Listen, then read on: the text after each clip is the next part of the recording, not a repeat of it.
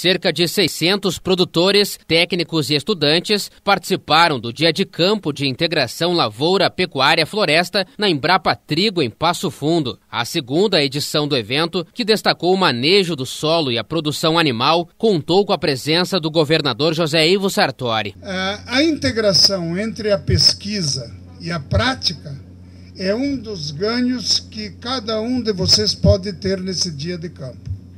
Isso vale tanto para quem está mostrando suas atividades, quanto para quem está aprendendo. Em quatro estações, os participantes tiveram informações sobre pastagens perenes e anuais, grãos de cereais de inverno na alimentação animal e manejo e conservação de solos. O ministro do Desenvolvimento Social e Agrário, Osmar Terra, afirmou que as pesquisas da Embrapa ajudaram o Brasil a atingir o reconhecimento no setor da agricultura. Foram as pesquisas da Embrapa que levaram os grãos para o Cerrado, que desenvolveram aquela, a produção extraordinária que nós temos hoje.